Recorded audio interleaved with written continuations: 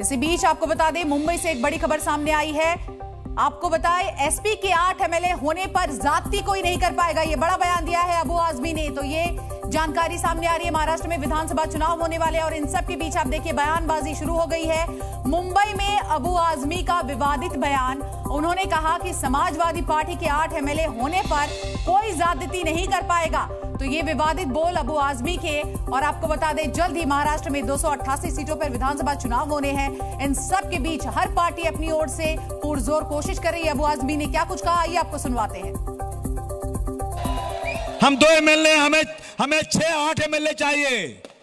और जिस दिन अखिलेश भाई आठ एमएलए हो गए ना, किसी की माँ ने दूध नहीं पिलाया मुसलमानों को साथ करने की ये मेरा वादा है।